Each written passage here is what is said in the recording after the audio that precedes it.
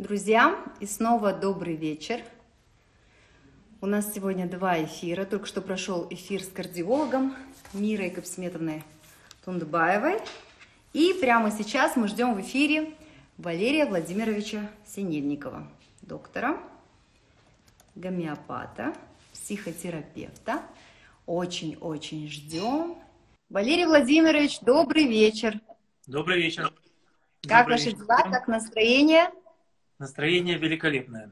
Да, мы очень рады, что вы согласились, э, вообще все казахстанцы, кто сейчас в эфире вместе с нами, очень рады, потому что вас очень многие любят, многие читали ваши книги, я в том числе, я знаю, что эм, ваши книги вообще просто миллионным тиражом, да, продаются? Ну да. Ну да, скромно сказал Владимир, ой, Валерий Владимирович. Валерий Владимирович, вот э, я э, посмотрела сегодня, вот готовилась к нашему интервью, а, полистала ваш инстаграм, посмотрела книги, да. Вопросов, конечно, сейчас, друзья, я пока, можно отключу вопросы, и мы подключим вопросы чуть позже.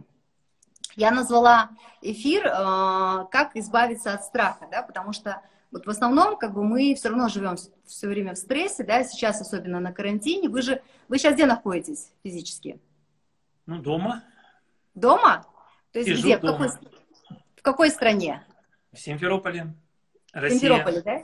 В России. Вот э, в стрессе находи, в карантине находишься как в стрессе, да, то есть вообще совершенно новый какой-то формат жизни, и, конечно, человека преследуют различные страхи, да, там страх, что мы будем долго сидеть там на карантине, да, что страх там лишиться работы, лишиться бизнеса, дохода. Вообще вот как избавиться от всех страхов, которые у нас сейчас есть?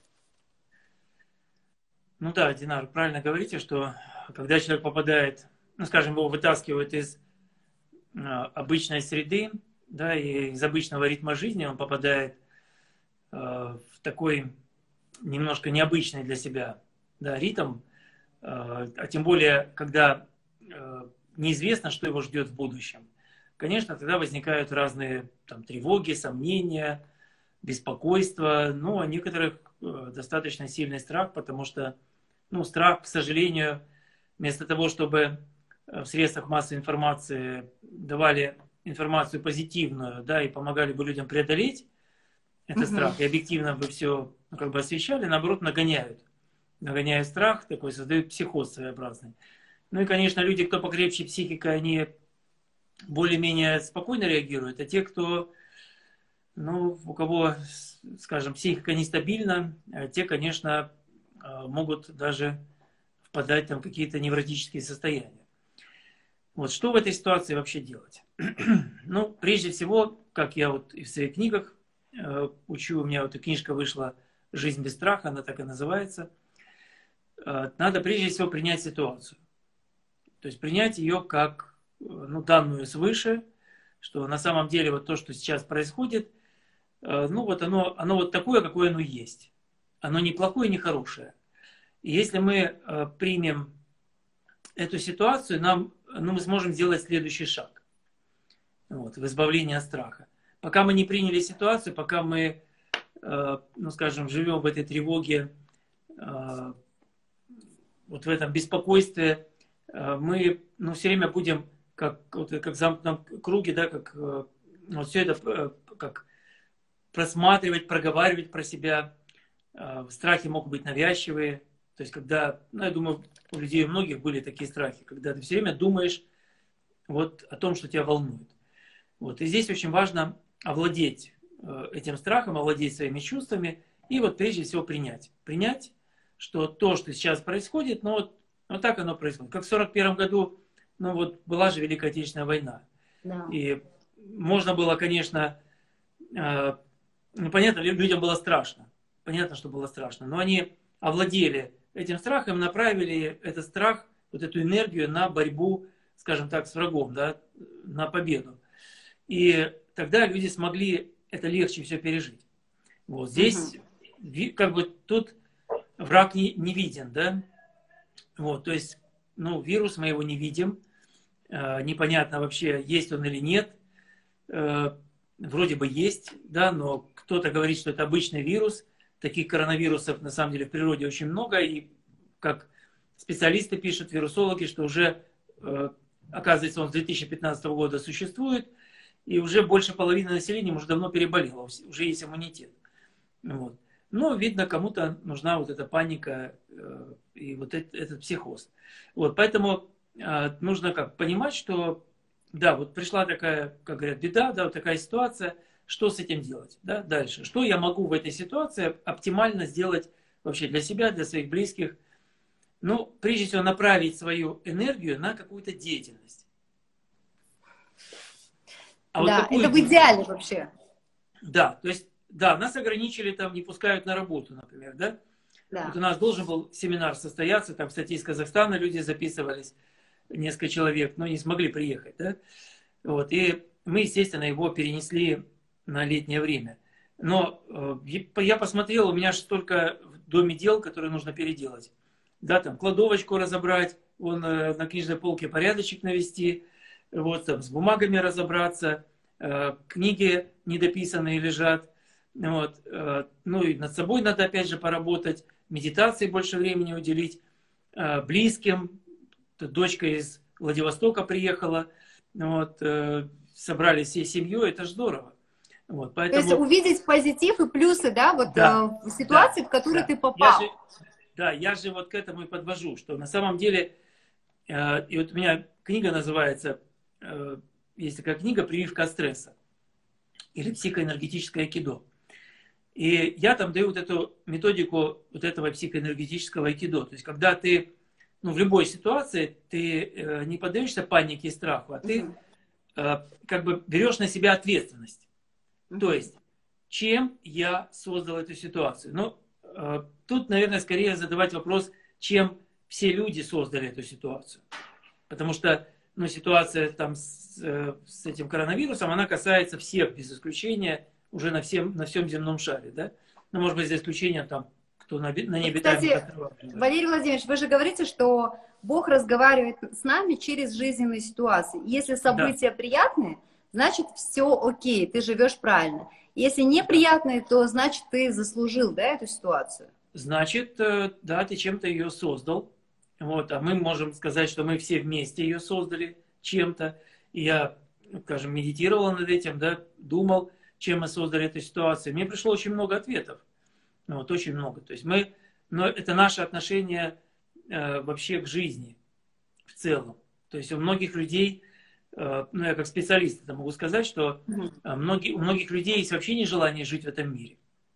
Вот, оно выражается ну, элементарно в курении, например, в э, алкоголизме, в игромании, э, в том, что люди, ну скажем, употребляют какие-то там продукты, которые их, ну, скажем, убивают, да, или делают им хуже. Вот.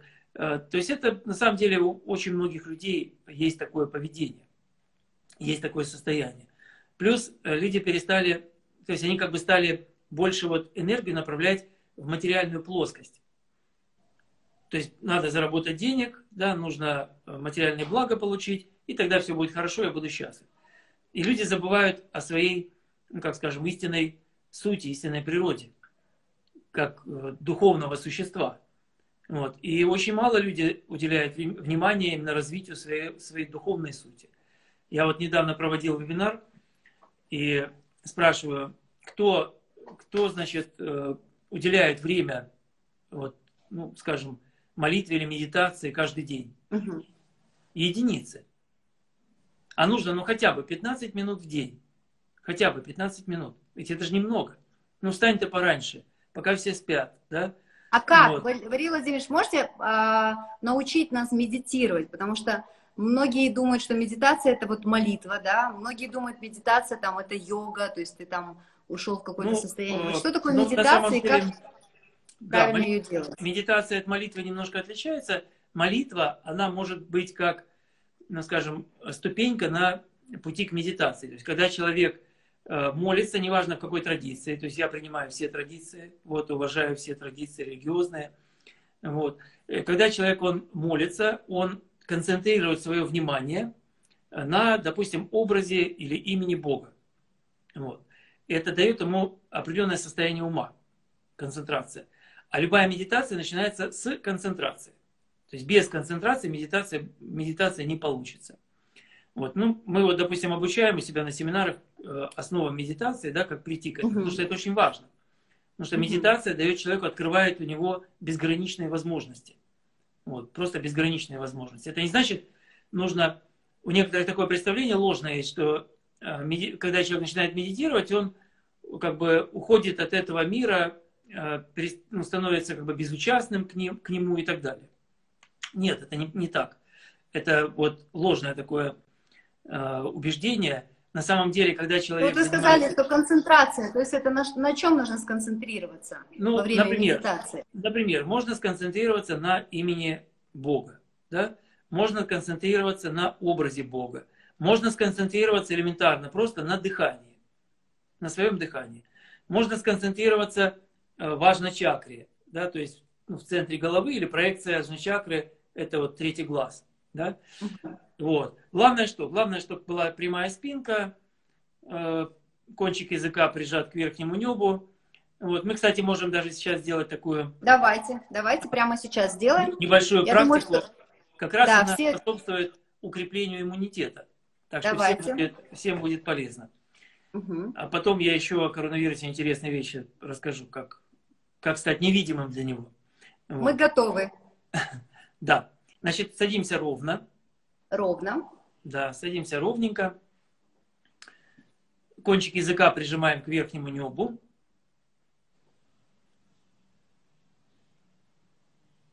И э, так вот как бы сверху вниз от макушки головы сканируем свое тело мысленно. При этом расслабляем все мышцы. Расслабляем мышцы лица, плечевого пояса, руки, ноги. То есть должно быть такое приятное состояние такого расслабления. Переводим внимание на дыхание и спокойно дышим.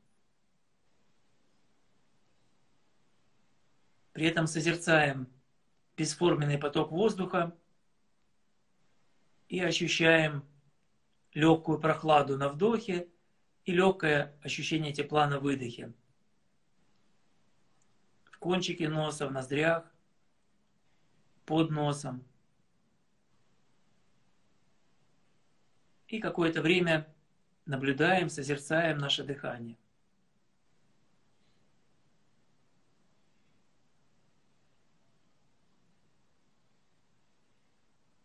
Дыхание становится спокойным, плавным.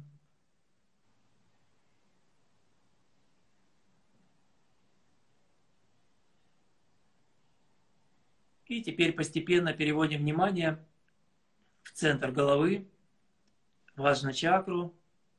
Это центр сознания человека, центр познания. И созерцаем в центре головы свет сознания –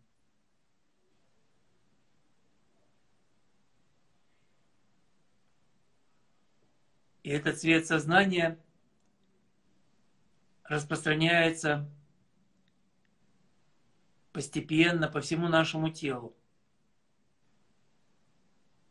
освещает каждую клеточку нашего тела. Мы просто наблюдаем, созерцаем, как это происходит. И этот цвет знания, свет сознания – свет истины освещает все наши мысли, эмоции, чувства.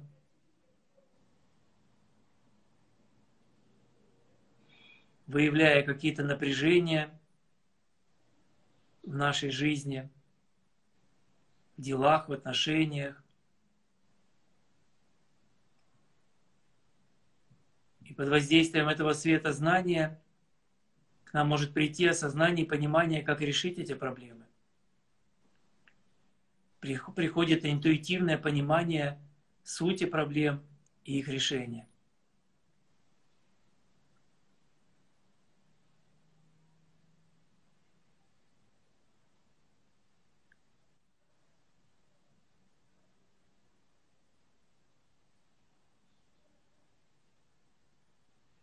Мы продолжаем концентрировать свое внимание.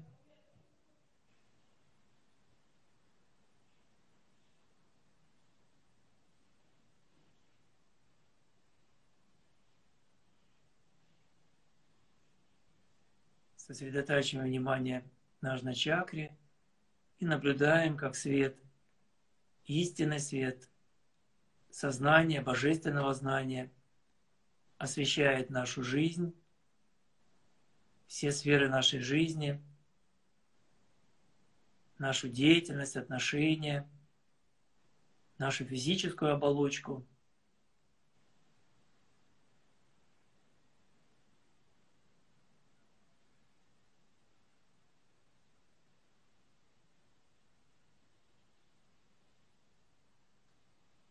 наполняемся этим светом, можно увидеть, почувствовать, как все тело начинает сиять. Такое классное состояние. Да, это может быть состояние ясности, даже такой пустоты, прозрачности.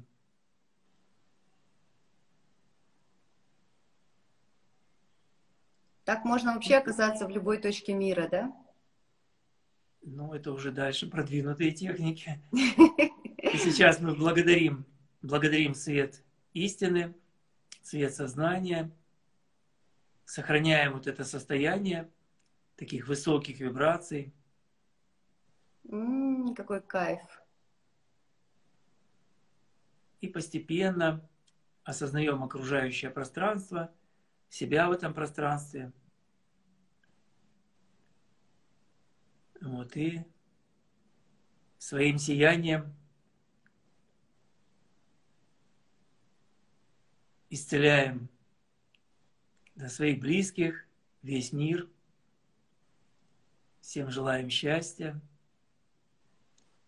И открываем постепенно, мягко глаза. Спасибо большое. Такая классная медитация.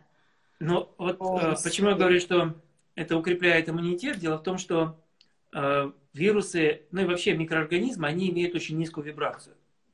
Ну, как э, утверждают, что некоторые ученые, что где-то около 2 Гц, ну, в этих пределах.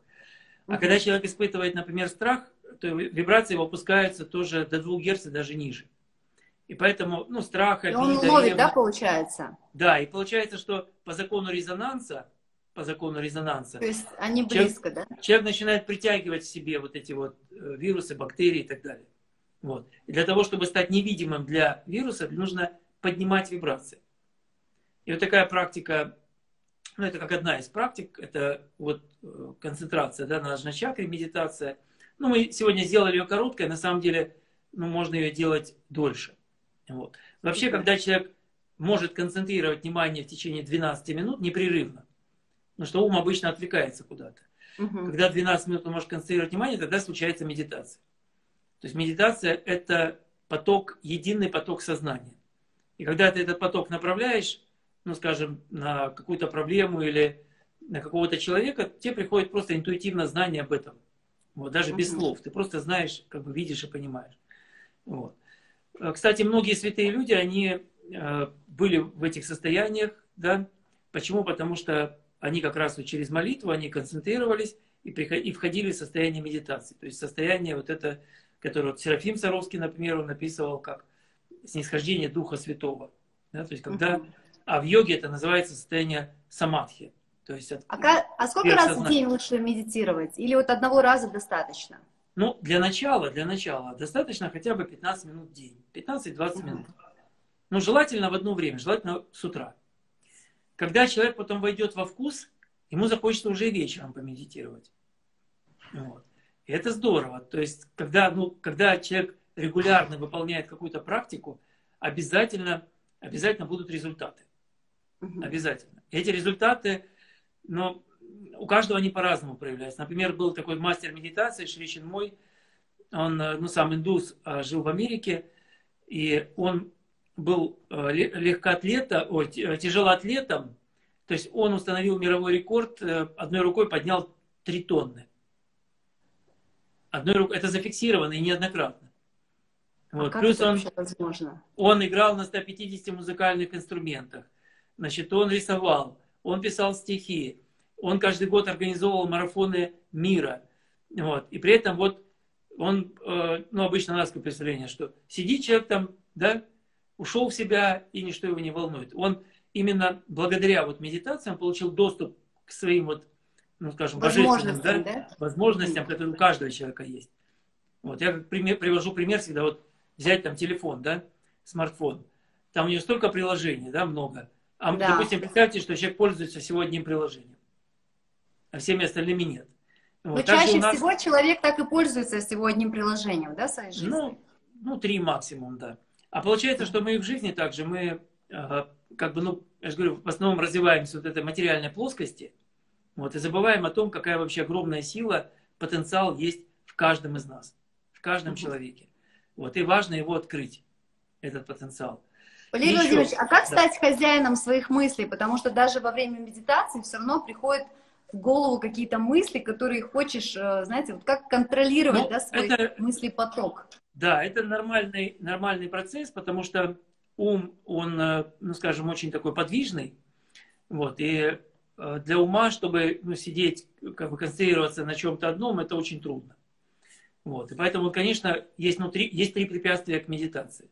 Есть первое препятствие, это когда ум беспокойный, как обезьяна, вот он постоянно куда-то скачет, да, то есть от одной мысли к другой, да. Вот. Э, второе, второе препятствие, это когда человек впадает в сон, Всегда он так сидит, сидит, а потом так... Я тоже сейчас думала, а если я засну во время медитации? Ну, я, я э, вел, поэтому не заснули бы, но да. тем более недолго это было. Ну и третье препятствие, когда ум начинает человеку показывать разные фантастические прекрасные картины, все, и человек думает, ну вот я уже медитирую. На самом деле это не медитация, это просто фантазия. Угу. Вот, так что вот эти три препятствия есть. Ну, на самом деле, э, ум нужно как? Э, как ну, научиться им управлять. Чтобы управлять умом, нужно э, укрепить свой разум. Потому что ум э, и разум это немножко, э, ну не немножко, это разные оболочки. То есть ум основывается на том, что я хочу или не хочу. То есть, допустим, что мне приятно, у меня есть влечение к этому. То, что неприятно, я, наоборот, стараюсь с этим не иметь дела. Да? Угу. То есть такое влечение, отвращение. Вот два состояния ума. А разум исходит из э, здравого смысла. То есть, например, э, действительно ли это тебе нужно или нет? То есть человек задается вопросом, так, вот это сделать, а зачем оно тебе? Для чего? Вот людям нужно научиться задавать вот этот магический вопрос, для чего? Угу. Для чего? Что-то делаю, для чего? Так? Что-то, ну, появилась какая-то проблема, для чего она мне появилась? Именно для чего, не из-за чего, а для чего. Вот. И тогда мы начнем видеть вот эти позитивные да, смыслы э, в той или иной проблеме, которая возникает в нашей жизни. Угу. И таким образом мы э, ну, сможем овладеть нашим умом. Потому что когда мы говорим, ставим цель конкретную нашему уму, он подчиняется и идет туда. Ну, как у меня такой образ есть хороший. Э, ум и разум, да, это как хозяин и собака. Угу. То есть, если собака не дрессированная, она хозяина тащит там в кусты, там... Куда угодно. Еще куда-то, да. Вот. А когда дрессированная, она ходит рядышком. Э, если ей что-то хочется, она без, ну, как бы без команды хозяина этого не сделает. То есть нужно просто вот так отключиться и сказать, все, я медитирую, все мысли вон, да, из моей головы.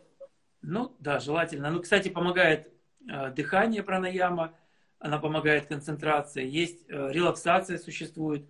Ну, вообще у нас есть такой проект э, в нашей школе, называется «Здравые люди». Угу. Это такой утренний э, йога-интенсив. Вот. Ну, в принципе, его можно в любое время делать, но желательно угу. с утра. Он а во сколько вы собираетесь?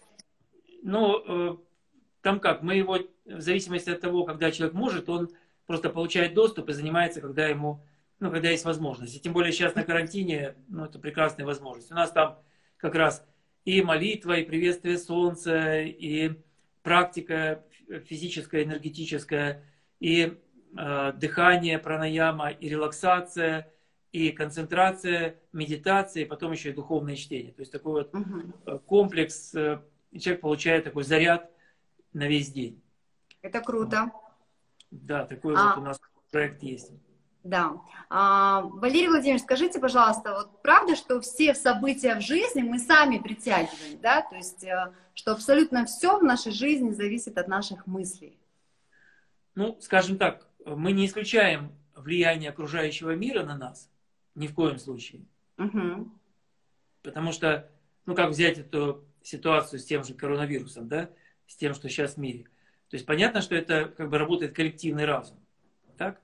Но э, что касается, допустим, меня лично, да, безусловно, э, я сам создаю эти события, ситуации своими мыслями. Просто люди э, ну, мало знают вообще о силе наших мыслей и намерений. Вот, они ну, думают, что все, что происходит, это все случайно происходит. На самом деле случайно, все случайности, как говорят, это подсознательные закономерности. Вот, просто нужно включить, опять же, разум и задаться вопросом, да, а чем, чем я создал ситуацию, для чего создал ее, как вести себя по-другому. Ну, для этого нужно первый шаг всегда, нужно взять на себя ответственность. Угу. Вот, то есть... А как заменить, вот если, например, ну вот вы говорите, что любая ситуация непредвиденная, да, то есть это следствие твоих там мыслей, да, то есть вот если есть какие-то отрицательные установки, негативные, да, там страх, например, там оказаться ну, я не знаю, там, заболеть коронавирусом, да, например, то есть страшно, ну, вы рассказали, да, что вибрации, чем, чем ну, уровень выше твоих да. вибраций, то есть тем меньше у тебя рисков. Но вот если есть какие-то отрицательные установки, там, человек боится, там, я не знаю, умереть, там, я не знаю, там, ну, что на него кто-нибудь нападет, например, да, то есть у него есть такая установка, и каждый раз, когда он остается один, ему страшно. Вот как от этого избавиться? Да, значит, значит, он притягивает притягивает в свою жизнь такие ситуации. То есть у него, ну я так скажу, что есть такие программы подсознательные, я так называю программы, которые могут создать вот эту ситуацию. Угу. Поэтому человек ее, как бы, ну так образно говоря, предвидит и начинает ее бояться. Поэтому нужно задать себе вопрос, а чем я могу создать такую ситуацию? Какими своими мыслями, эмоциями, поступками, поведением? И самое главное, потом второй вопрос, а для чего мне эта ситуация. То есть чему она меня может научить. Э, все наши события, э, ну, вот, которые, как мы говорим, неприятные, да, это все уроки. Уроки жизни, которые мы проходим.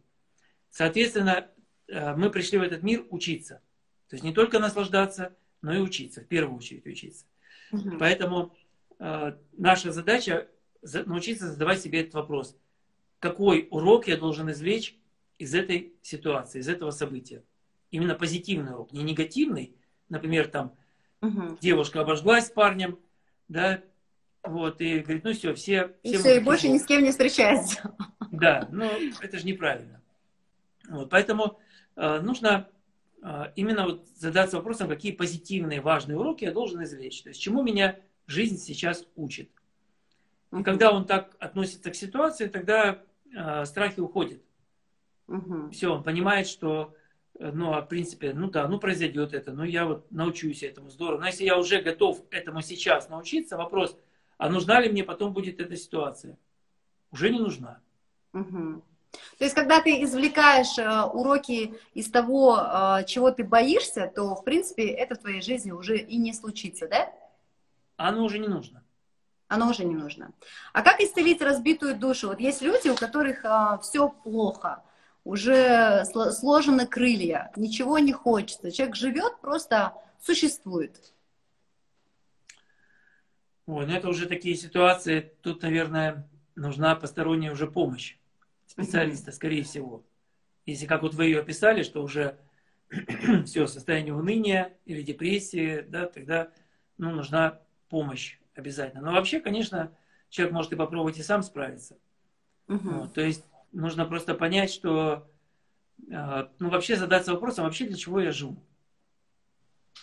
То есть цель моего вообще существования. Для чего? И вот этим, с этим вопросом, то есть как бы медитировать на этот вопрос. Кто я и для чего я? То есть для чего я пришел в этот мир?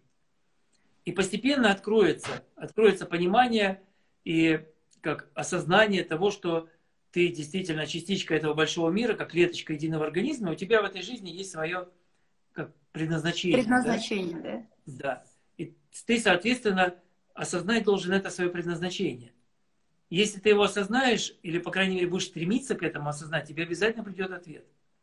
Придет, придет подсказка.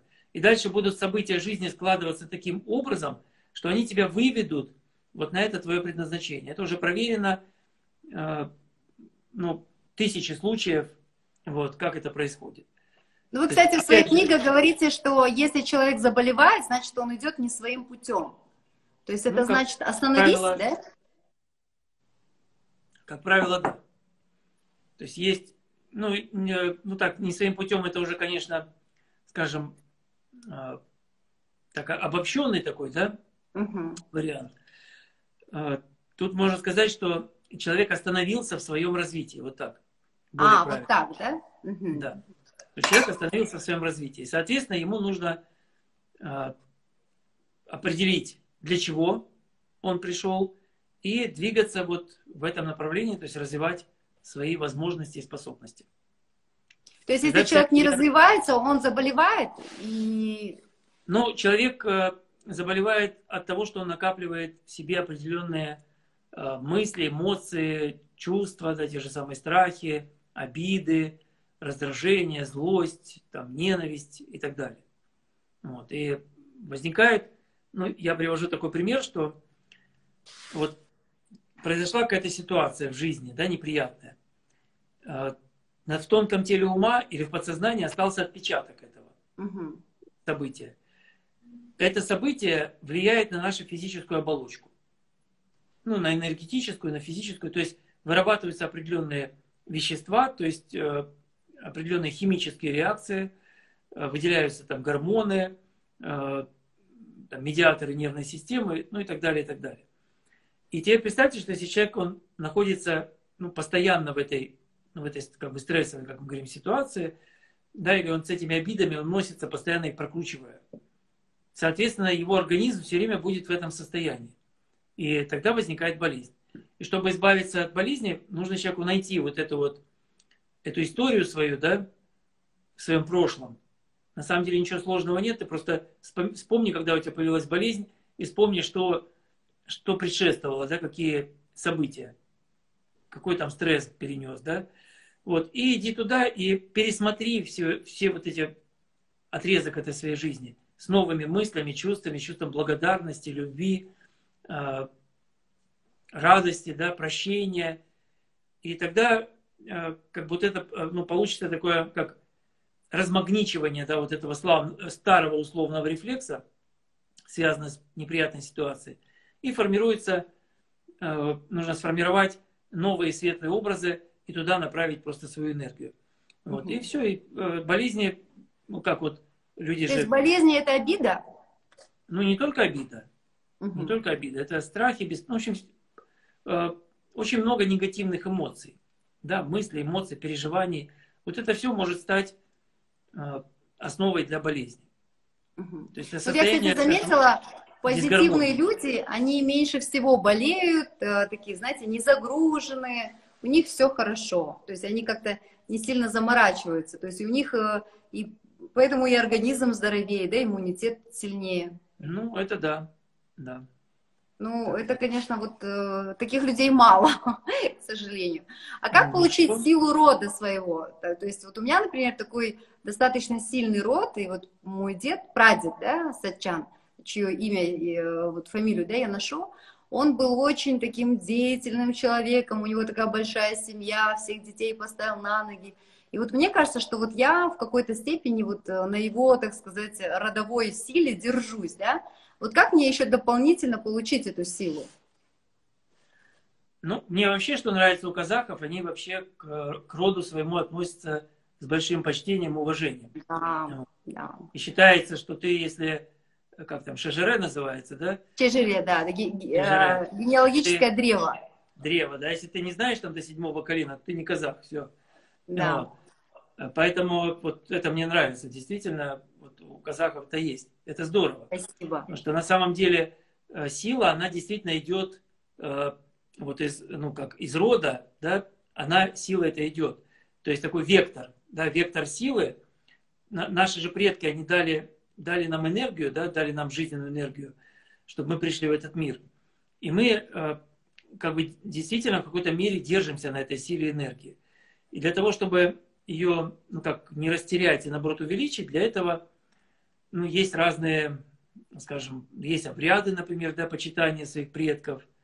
Вот, э, можно, например, ну там есть же определенные дни, когда почитаются предки. Да, ну у нас по пятницам. Есть, да, у, ну, у многих народов это есть, это очень важно. То есть, когда предки можно приготовить еду, да, такую вот обрядовую, кормишь этой едой, то есть предлагаешь им, благодаришь обязательно за жизнь, да, за то, что вот вы дали мне жизнь, потому что благодаря вот именно вашей энергии я сейчас живу, я могу развиваться, я могу творить, да, я могу угу. учиться, вот, э, и дарить другим свою жизненную силу и энергию. Вот. И если есть какие-то проблемы с родителями, вот их обязательно нужно решать. Это в первую очередь. Потому что ну, ближе всего к нам, как со стороны рода, это наши родители. Соответственно, нам, нам нужно э, почитать, уважать, э, ценить своих родителей. Вот. И это, ну скажем, ну это нужно, это чтобы нужно, чтобы было твоим просто состоянием. Uh-huh. То есть нужно обязательно родителей благодарить. Вот, как бы они себя там не вели. То есть это, ну, родители это святое. Поэтому нужно кланяться им обязательно. Вот, обязательно поклон. То есть родитель увидел, обязательно поклон. Вот. Обязательно благодарность, что как здорово, что вы у меня есть, да, почитание родителям. Вот это все, как бы, когда мы даем э, родителям вот эту энергию благодарности и вообще всему роду, оттуда к нам идет еще больше любви, благодарности и силы. Почему? Потому что наши предки хотят, чтобы мы процветали, чтобы у нас все было прекрасно. Вот. И, соответственно, когда мы туда отдаем вот эту энергию благодарности, и к нам приходит еще больше силы. Вот. Угу. Поэтому вот это вот в первую очередь нужно восстановить отношения с родителями. Если у кого-то есть какие-то проблемы с родителями. А если вот у, очередь... у человека, допустим, ну кто-то из родителей умер, да, а он не успел там восстановить отношения, что ему делать? Ну, если родителей уже жив, живых нет, э, ну, фото, можно брать как фотографии, да, проводить те же самые вот такие обряды кормления предков перед фотографиями и опять же благодарить, благодарить, там, просить прощения, благодарить, желать счастья их душам, вот, и обустраивать свою жизнь, то есть делать свой род процветающим. Uh-huh. Вот. Потому что ты, ты же как бы, э, ну вот у меня вышла книга такая, вот, э, «Исцеление рода» называется. Uh-huh. И здесь вот есть такая вот картинка, вот она, птица такая рода. То есть, когда вот, вот здесь вот как бы в голове, да, это, это мы, ныне живущие, а там у нас там вот 128, ну если до седьмого колена, 128 предков. Да? И получается, что мы сейчас от того, как мы сейчас будем жить, как мы будем себя вести, будем ли мы э, настроены вообще на жизнь, да, на благополучие, на процветание, на развитие, зависит от того, как, как наши предки будут себя чувствовать. Потому что на тонком плане они все равно с нами. Даже если их нет живых, их души все равно, они в этой вот структуре родового древа, они все равно остаются навсегда. Uh-huh. Uh-huh. Вот. И самое как бы для них радостное и приятное, то есть когда мы здоровы, счастливы, когда мы живем в гармонии, когда у нас крепкие дружные семьи, когда мы ведем здоровый, трезвый образ жизни, да, то есть вот, вот это, на это нужно направить свою силу энергии. Тогда предки всегда это поддержат, всегда. А вот когда предки приходят во сне, вот у меня бабушка моя, она очень, ну, там два раза где-то в год приходит ко мне во сне. Это что значит? Ну, это значит, что, может быть, она может что-то хочет сообщить вам. Угу. Может, вам хочет передать какую-то свою силу. Угу. Вот. А Но для быть... меня это тоже всегда знак. То есть, если она мне приснилась, я начинаю сразу звонить дедушке, спрашивать, что произошло. Ну, то есть я понимаю, что она не просто так э, приходит, я вот верю тоже в то, что Аруахтар у нас говорят казахи, да, то есть э, духи, да, то есть наших предков, они да, все равно да. с нами где-то на связи, да? Да, а... значит, нужно опять же помянуть, помянуть их. Угу. Да, еще хорошая есть практика в отношении укрепления рода. Э, нужно сажать деревья в честь своих предков. О, классно. Да. Это классная и идея. Вот, и ты посадил дерево, и ты за ним ухаживаешь пока, ну, какое-то время, пока оно приживется, да? Вот. И потом это дерево, вот оно, ну, скажем, там, дарит э, всем, да, там, плоды, да, или тень, вот, э, кислород, да, то есть тем самым э, мы, как бы, если была какая-то негативная карма в роду, мы вот эту негативную карму, мы ее отрабатываем. А вот что касается кармы, да, то есть иногда человек живет, живет, все вроде бы нормально, а потом уда- неудача за неудачей, неудача за неудачей. Он начинает говорить, это карма. То есть что происходит с человеком, чем он, э, что он может такого плохого сделать, что в какой-то момент все идет э, наперекосяк. Ну, нужно разбираться. То есть, опять же, брать на себя ответственность, да, не, не переваливать все на карму, вот, брать на себя ответственность и задаваться вопросом, а где я там накосячил вообще в своей жизни? Вот. То есть, где я там что не так сделал? То есть, может быть, я где-то там украл что-то, да, у кого-то. Может, кому-то долг не вернул. Вот. Может быть, кого-то оскорбил. Вот. Может быть, еще что-то сделал. Это все называется семена негативной кармы. То есть, я их где-то посеял. А сейчас они взошли и дали свои всходы, и плоды принесли. Вот. Соответственно, нужно это как бы ну, осознать, понять, вырвать эти ростки вот эти, этой негативной кармы да, через mm-hmm. прощение, покаяние. Вот. И э, нужно делать добрые дела. То есть, причем бескорыстно. Делать добрые дела для окружающего мира. То есть, mm-hmm. тем самым ты будешь сеять семена ну, кармы позитивной, да, при этом как то перестрадаешь вот эту негативную, сделаешь для себя выводы правильные, твоя жизнь изменится, и дальше будет уже э, все как прекрасно и светло. Ну, Валерий Владимирович, мы все-таки все люди, да, мы не идеальны, все равно мы где-то косячим, да, то есть мы иногда совершаем, ну, какие-то грехи, мы неосознанно где-то, ну, нечаянно что-то там не так сказал, оскорбил, я не знаю, там, ну, вот мало ли, там, долг человек не вернул, да, ну, вот если вот произошло какое-то неприятное событие, ты его признаешь, но не хочешь, чтобы завтра это потом семя возросло в огромное дерево, стукнуло тебе по голове, да, что делать? Ну, в этом случае нужно признать, прежде всего признать, что ты поступил неправильно. Вот. То есть должно быть раскаяние, да, то есть э, покаяние или раскаяние. И э, ну, есть такое понятие искупления, да. Вот, то есть uh-huh. нужно подумать, а теперь как я могу вообще ну, как Искупить бы, выйти из этой ситуации. Да? Если там долг, ну, значит, надо идти отдать долг, например. Вот. Uh-huh. Если это, ну, где-то я кого-то там оскорбил, попросить прощения. Вот, прийти сказать, что ты знаешь, прости меня, я вот не подумал, там, сказал сгоряча. Вот, давай дружить. Но вот. гордыня, очень многим мешает гордыня. Вот у меня сегодня да. была ситуация. Да. Меня оскорбили вчера, еще прилюдно. Я неужели, сегодня... неужели, Динар, у вас такое бывает? Бывает, представляете? Но меня оскорбили, и я, честно говоря, поддалась вот этому негативу, и потом, конечно, сегодня пожалела, что я тоже написала там пост и прочее. А, потому что я тоже попала в эту какую-то негативную волну, да. Но на самом деле человеку очень часто сложно вот попросить прощения, потому что есть гордыня. Вот у нас казахи говорят кукрек, да? Вот как избавиться от этого ужасного чувства или, я не знаю, порока, да? Да, на самом деле гордыня это, ну скажем, вторая причина вообще всех страданий, страданий людей. То есть первая причина это неведение вот, или невежество, то есть непонимание своей истинной сути. Да? А вот это непонимание своей истинной сути порождает гордыню. Угу. Ну или на санскрите называется асмита. То есть э, именно состояние, что вот да, состояние я, но не просто я, да, а именно ложного я. Что вот я начинаю себя противоставлять всему миру. Вот. Угу. И избавиться от этого ну, можно только путем э, развития в себе бескорыстной любви. Вот только так. По-другому никак. Потому что это такое чувство пагубное, которое, ну, знаете, такой образ у нас Погубит. есть. Да, э, Змей Гордыныч. Да, о 30 угу. головах. Вот. И вот эти головы это обида, там, зависть, жадность, злость, там, агрессия и прочее, прочее. Можно, конечно, головы по одной рубить, а можно и сразу, сразу все, да, но это, конечно, трудно бывает. Да. Поэтому... И у вас, я, я знаю, что у вас есть онлайн-школа, я хочу записаться теперь. во-первых, научиться медитировать, во-вторых, избавиться от пороков, которые даже у меня есть, я тоже хочу от них избавиться.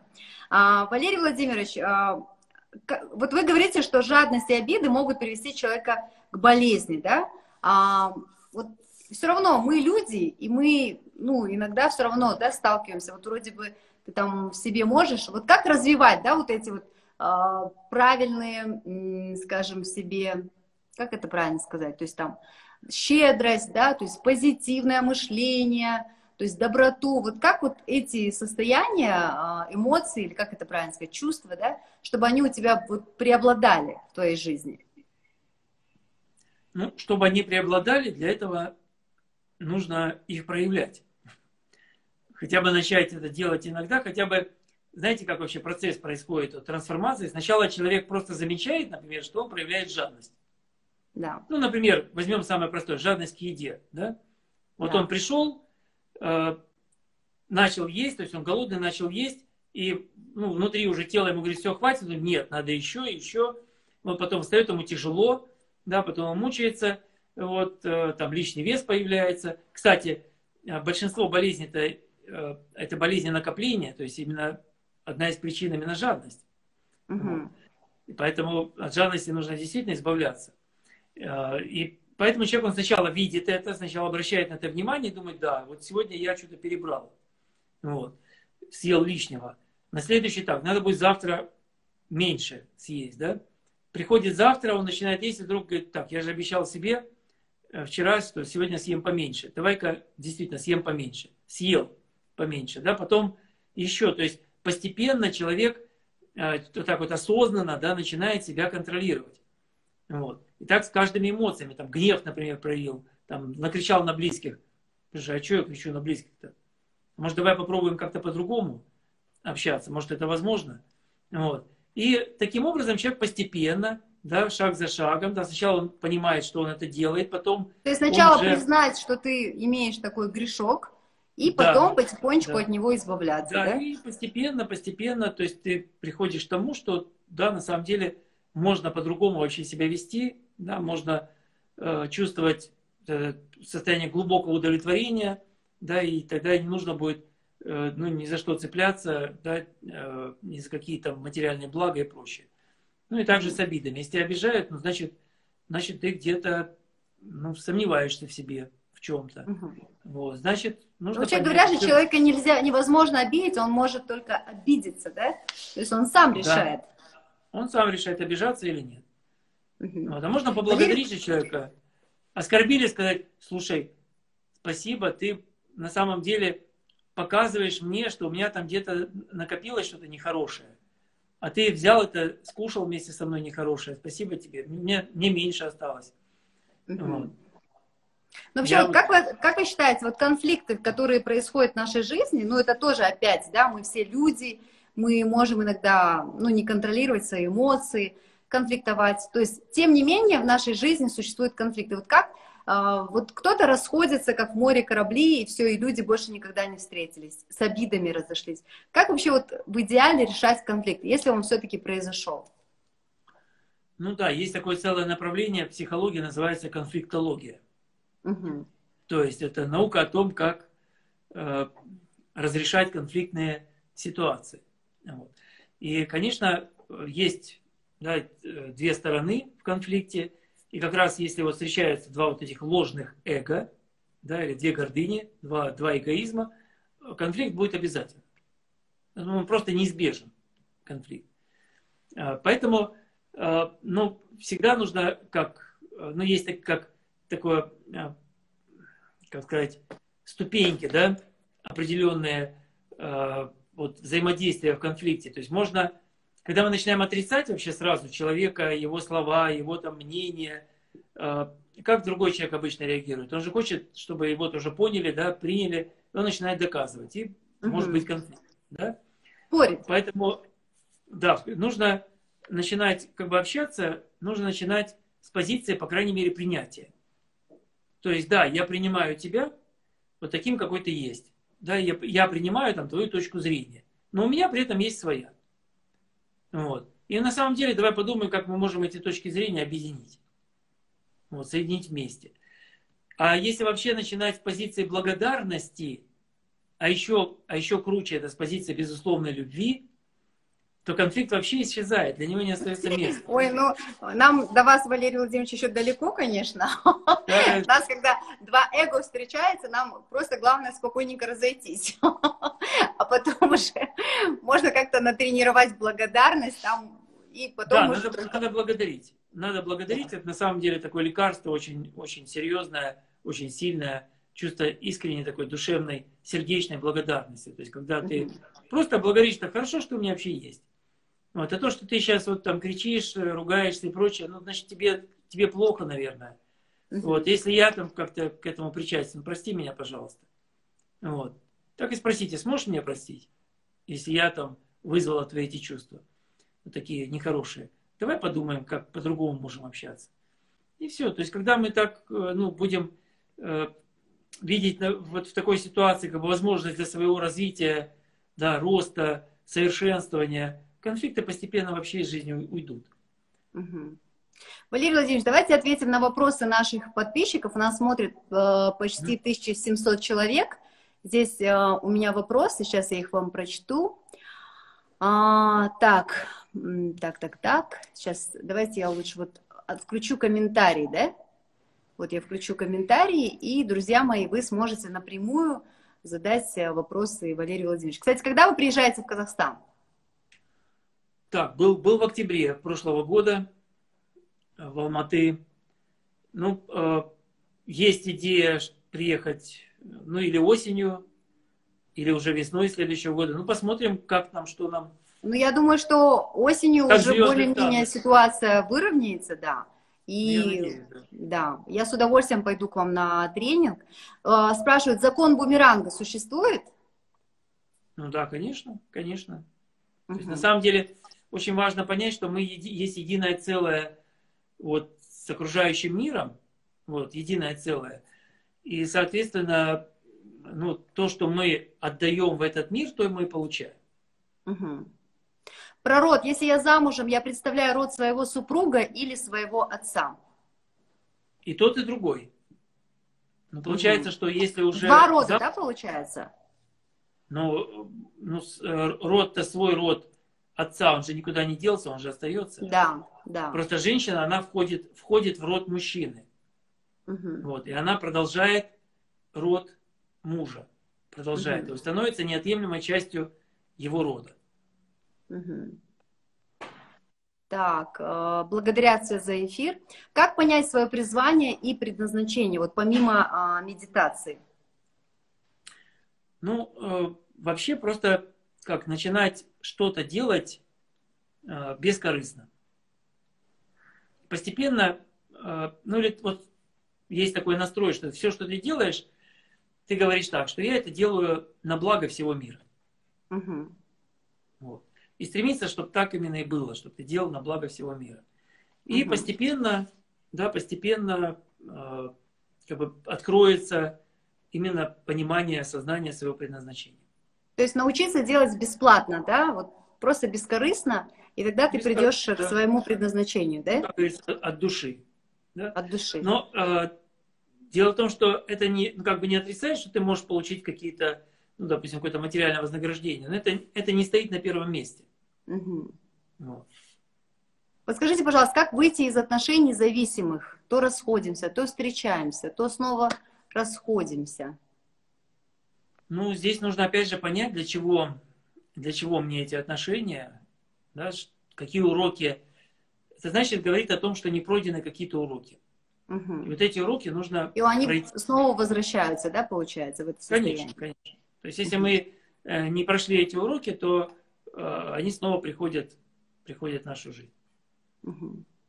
Если я не помню, по какой причине появилась болезнь, как быть? Ну, надо вспоминать. Надо вспоминать. То есть, ну, обязательно придет, э, то есть, когда человек концентрирует свое внимание на этом, приходит понимание, сознание. А, ну, спрашивают, как чистить мысли перед медитацией, как их обнулять, чтобы они не лезли в голову при медитации? Ну, есть э, хорошие практики дыхания, то есть когда ты дышишь, э, они, в принципе, обнуляются. Угу. Вот, поэтому можно подышать.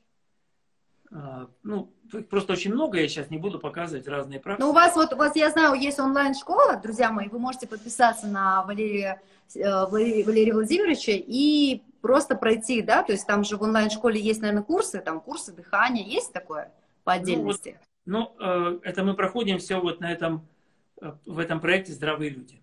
Mm. Все, нужно, значит, учим... просто присоединиться к этому проекту «Здравые люди» и а, научиться... Да, заниматься, заниматься там, получается, в течение года идут занятия, э, каждый день, там одним только пранаямом, там мы даем около 60 пранаям, плюс несколько вариантов медитации, разные э, практики физические, энергетические, такие очень хорошие. Ну, причем Я, они знаете, такие, что, ну, для, в принципе, даже для, ну, как, для неподготовленного человека можно их можно выполнять.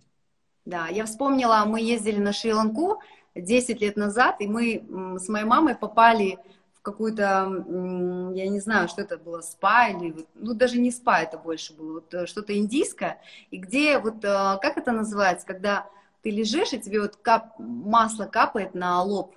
Это ш, Шарадара называется. Шарадара. Вот это классно чистит мозг. Да. Шарадара. Типа Шарадара это такая очень, ну, практика очень хорошая. Да. да. Да. Как справиться со страхом смерти? Кстати, хороший вопрос. Это самый сильный страх. Вот, самый сильный. И, ну как, нужно просто понимать, что просто принять, вообще нужно смерть воспринимать как своего учителя. Угу. Вот, и понимать, что, э, ну как, что ну неизбежно, неизбежно, наш, нам придется оставить тело. Угу. Рано или поздно. Но все равно это придется сделать. Э, как, поэтому, ну смысл за него цепляться. Угу. То есть нужно просто понять, что как бы перевести внимание, э, подняться выше, да, в своем восприятии, что ты, что ты есть а, божественная душа, бессмертная.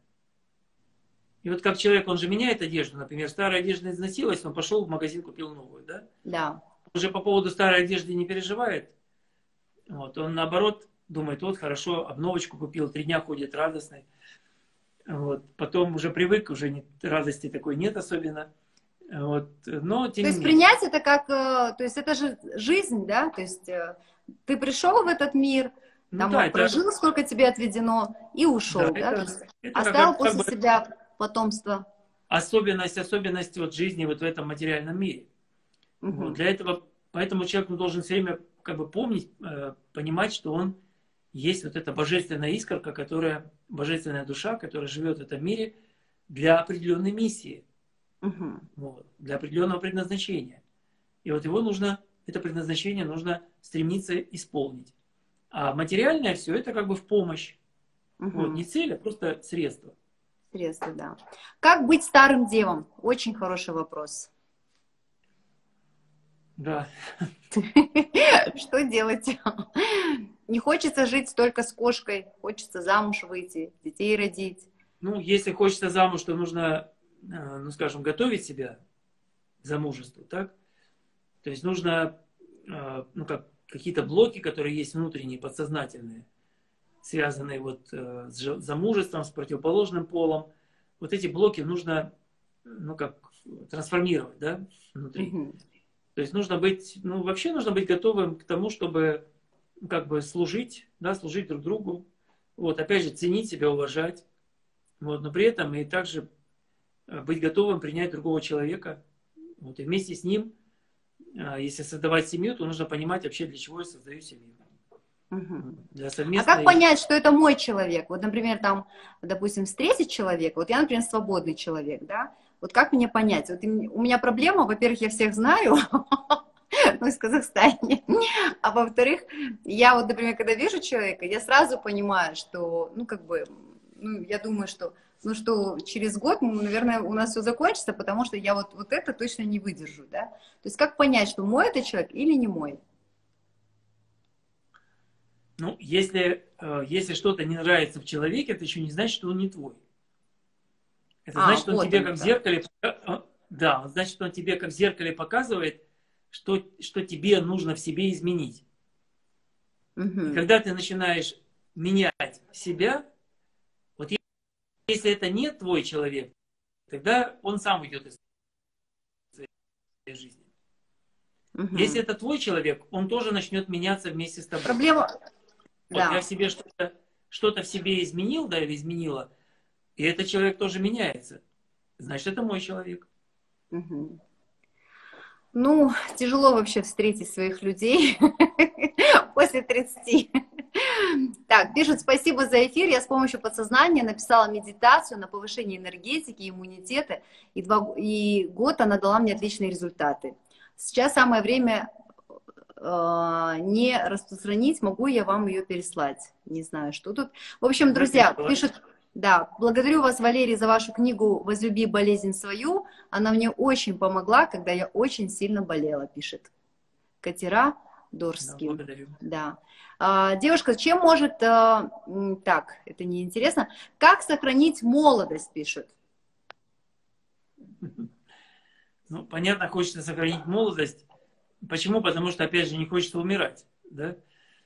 Вот. Да. Но если мы выйдем за пределы, за пределы своего земного существования и поймем, что нас там ждет тоже не менее интересный мир, вот, то мы как бы будем спокойно воспринимать э, течение времени, да, свои изменения, вот, и понимать, что все, всему свое время.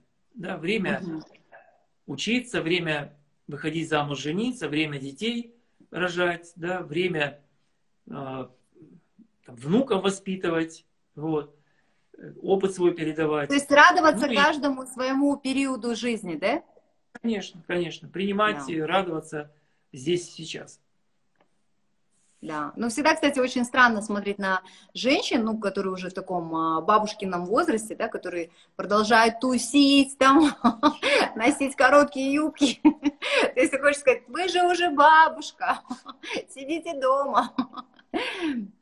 Пишут, таким спокойствием Не, ну, хочется... Что потусить, хочет? пусть потусят. Да. Пишет, таким спокойствием и умиротворением веет от вас. Благодарим. А, скажите, пожалуйста, насчет кармы. Мне сказали, что я отрабатываю карму предков. Правда ли это?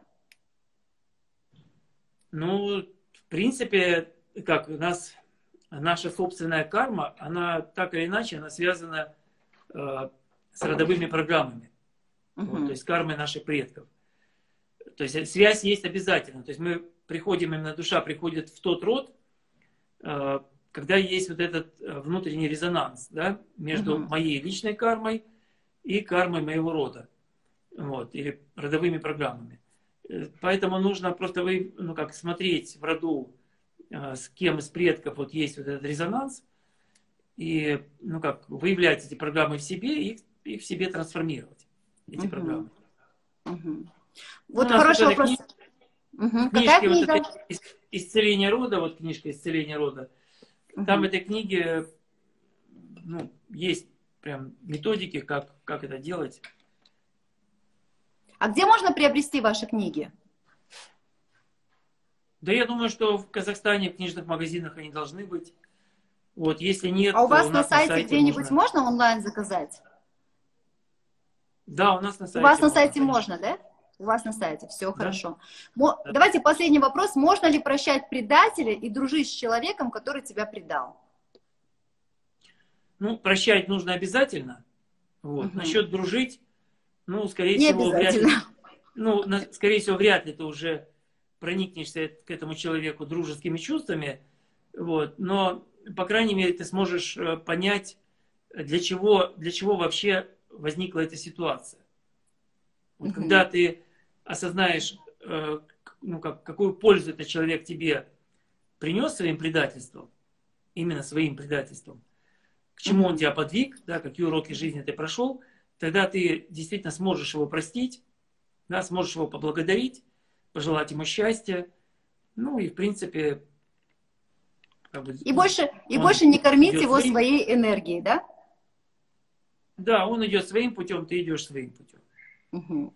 Валерий Владимирович, спасибо вам большое за очень крутой эфир. Я очень рада, что я познакомилась с вами в онлайне.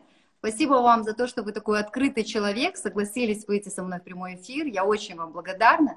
Так же, как и почти 2000 казахстанцев. Я думаю, гораздо больше людей сейчас смотрели наш прямой эфир. Друзья, давайте подпишемся на Валерия Синельникова. А, книги можно будет приобрести. На каком сайте? Где можно приобрести ваши книги? Ну, наш официальный сайт э, vdefissинельников.com, да? Все, мы сейчас все да. проходим по сайту, покупаем книгу «Исцели, возлюби свою болезнь», в общем, «Исцели свой род».